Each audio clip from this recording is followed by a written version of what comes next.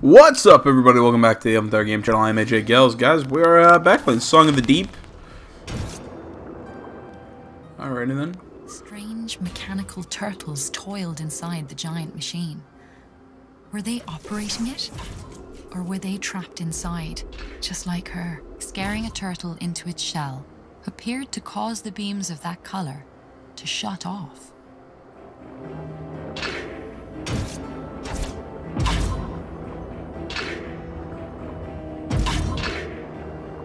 Alrighty then.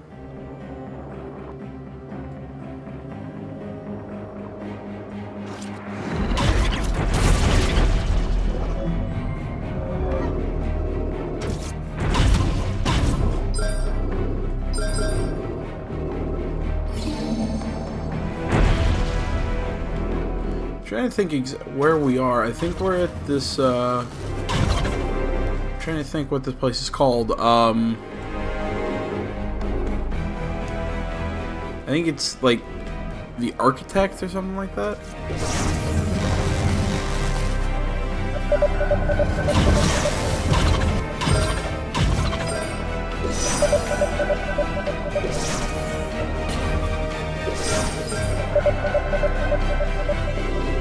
Although she hated to leave the safety of the submarine in such a hostile environment, she needed its weight at the sensor to keep the beams turned off.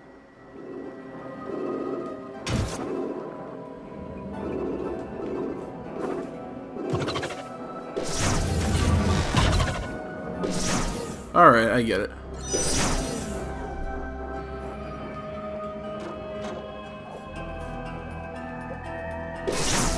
Merryn felt sorry for having to scare the turtles, but it was the only way to help them escape from the machine. As Merryn entered the innermost room of the architect, a large red turtle activated an alarm. Suddenly, the insides of the machine began to move and change shape around her. Whoa.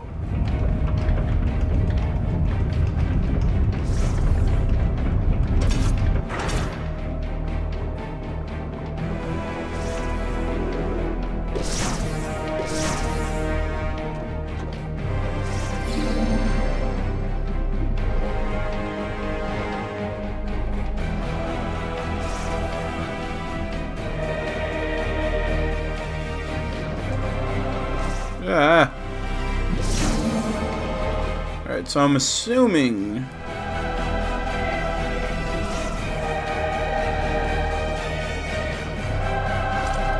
I, I totally lost my train of thought.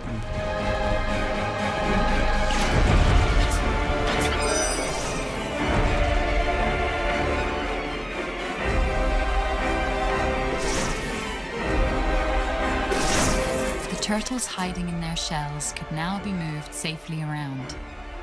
Merryn was careful not to hurt them. After all, this was for their benefit, as well as her own.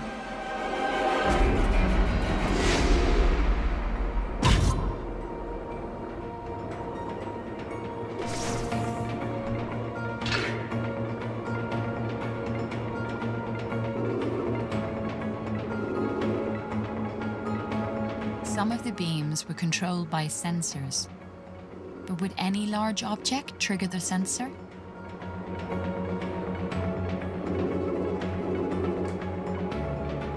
Hmm.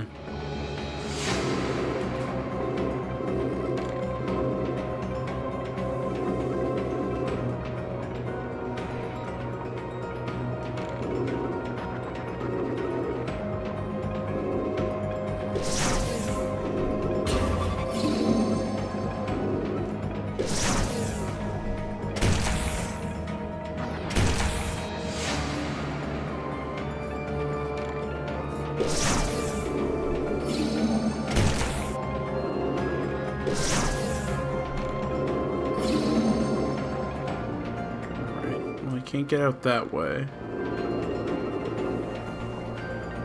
Can't double back.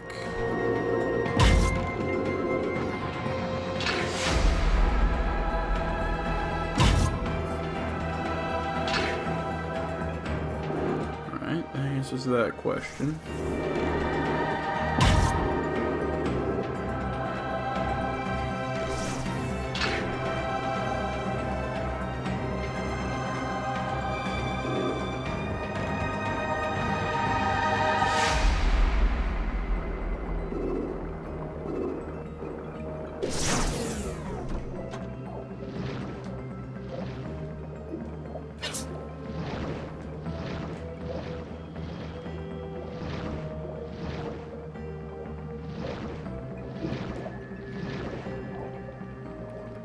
trying to find the sensor that apparently is being blocked.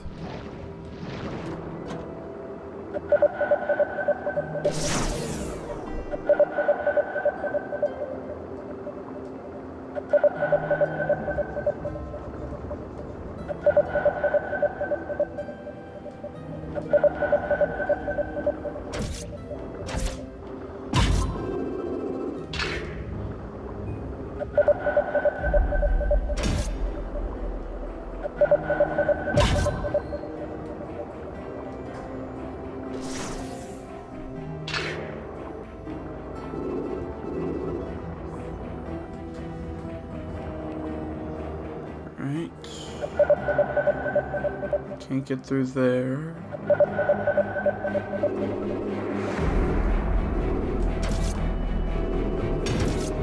The shit.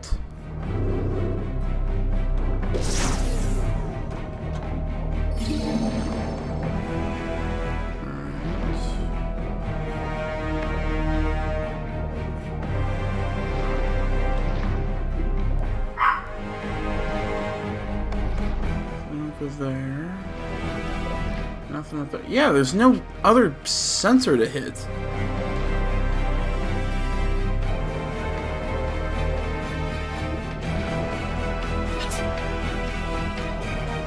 Oh my god, I'm a moron.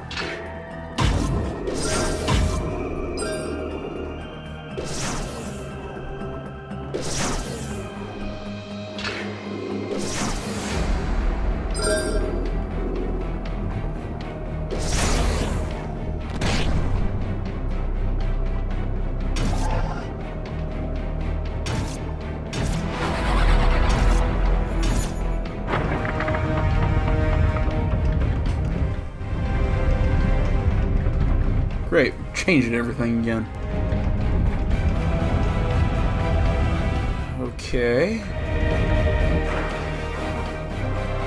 Oh boy, more light puzzles.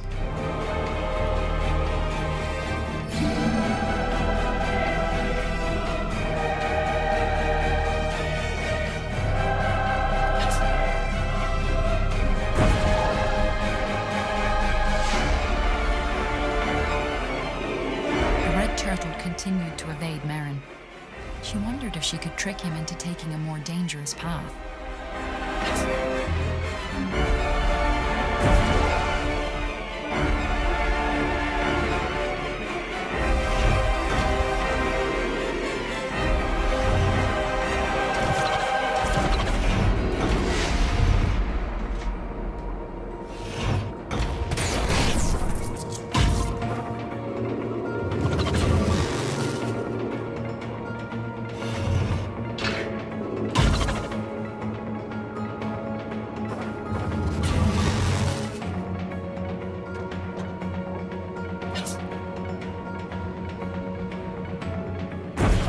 Energy from the machine sent the turtle back into his shell.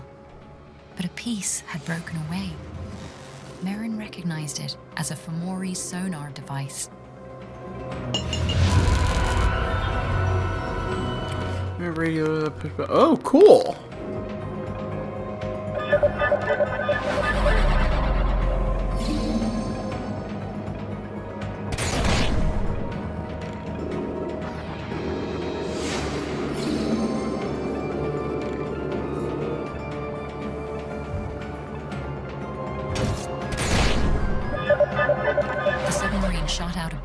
Pure sonic energy, shaking the architect and scattering broken glass in all directions.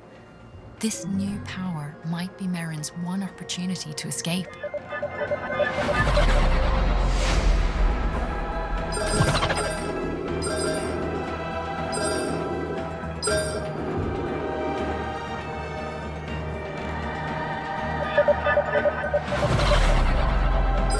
Wow, that drains the energy.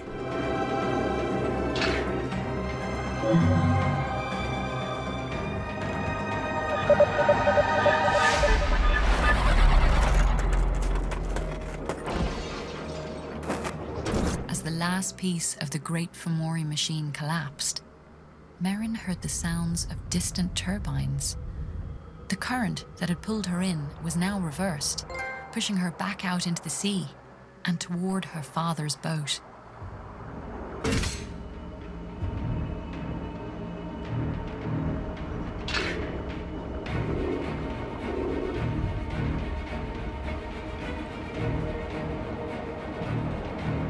Enormous red tentacles grabbed her submarine, cracking its hull and crushing its propeller.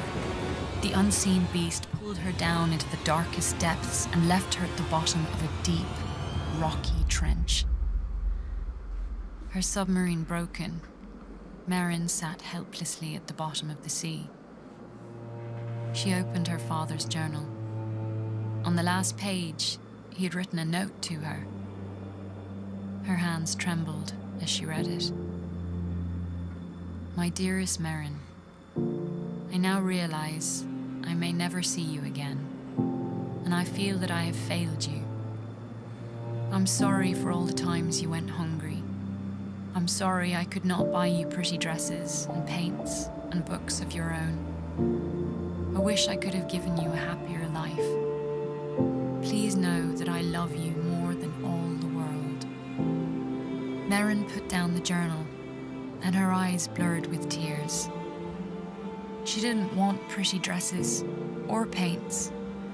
She had a happy life, and she just wanted it back.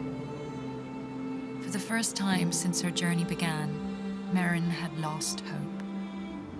She felt the slow, dull realization that her father was truly gone. She watched as the water seeped in through the cracks in the submarine's hull. She could no longer will herself to go on. As the cold water slowly rose up around her, there was a tapping sound from above, and the hatch creaked open. It was Swish. He gently picked Merryn up and pulled her out of the trench. He carried her out of the Forbidden City, through caverns and caves she had never seen, until they reached a place so beautiful that Merryn was certain she must be dreaming.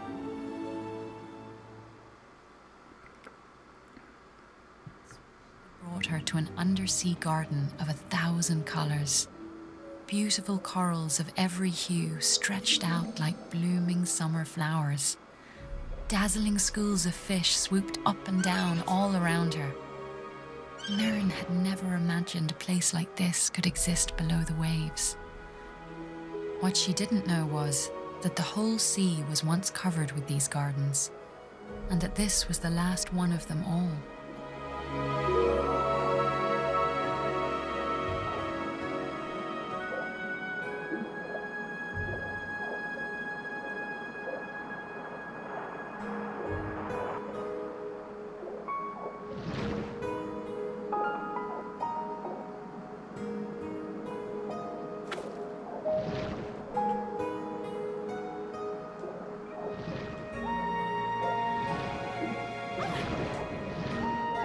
Alright, don't go that way.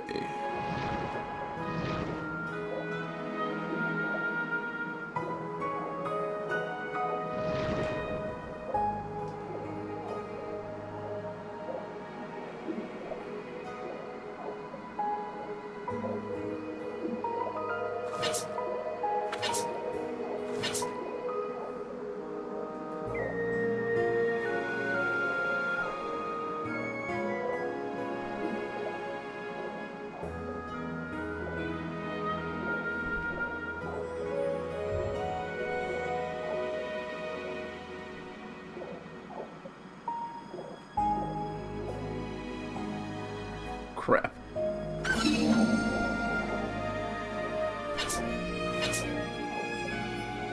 Alright. Try this again.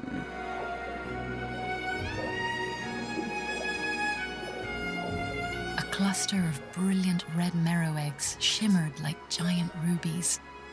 If the sea garden could be saved, the merrows might still live on.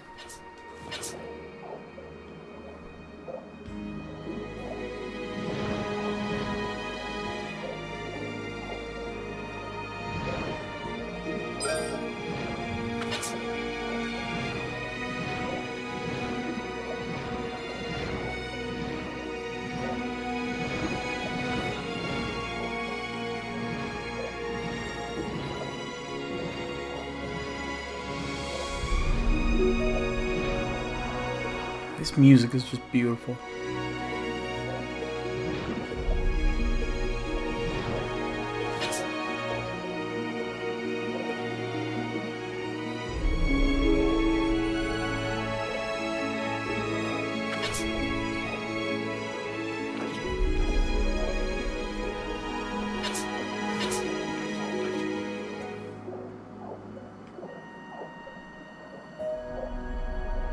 Come on, follow me.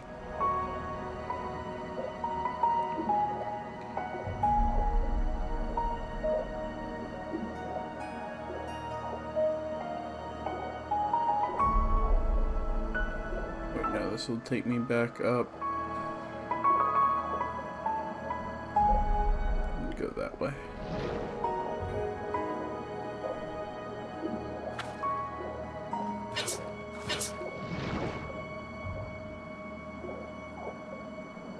Come on, boy. Come on.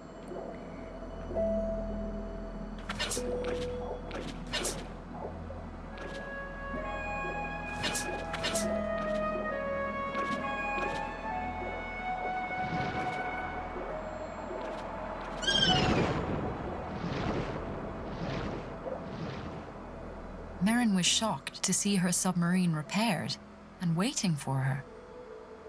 Did you do this? she asked the hermit crab. And for a moment, she thought he was blushing beneath his shell.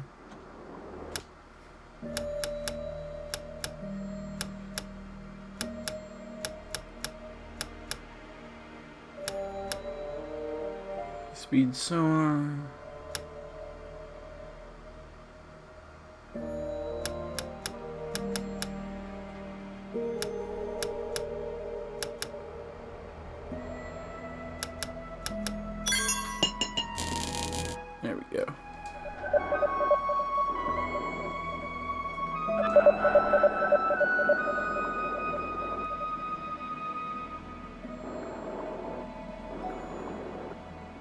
As Merryn swam toward Kara, she felt a wave of panic. The Merrow was dying. Merryn asked her desperately, What can I do? How can I help? Kara's voice was slow and weak. Fix him. Fix him, and he will show you. she said. Kara closed her eyes. She didn't have the strength to say more. Very sick. But Swish was there to care for her. He would fetch scallops for her to eat and guard her from any enemies. Merryn knew the best way she could help was to find a way to repair the clockwork seahorse.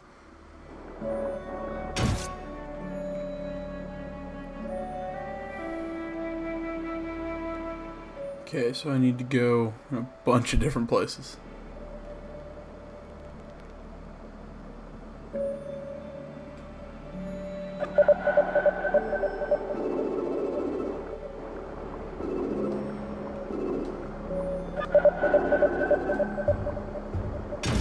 A series of visions flashed through her mind.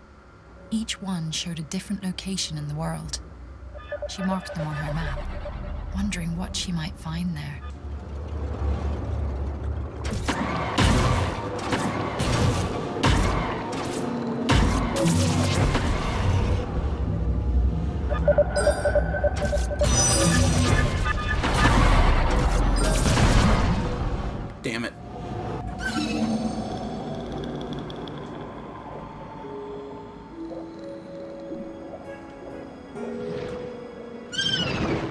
Are you were kidding me. That was the checkpoint. Oh my god. Alright, guys. Uh, I'm going to end this video. I know this is uh, pretty short. Um, something just kind of came up. I gotta go take care of something real quick. Um, so I'll pick it up uh, after all that cutscene and after all that stuff that we uh, we just saw. Uh, so guys, I uh, hope you enjoyed the video. You can find me on Facebook, Twitter, my website down in the description below. Uh, like, comment, subscribe if uh, you enjoyed this, you want to see more, all that stuff. So guys, until next time, I'm AJ Gels. This is the Unthought Gaming Channel. Thank you for watching, everybody. I'm out.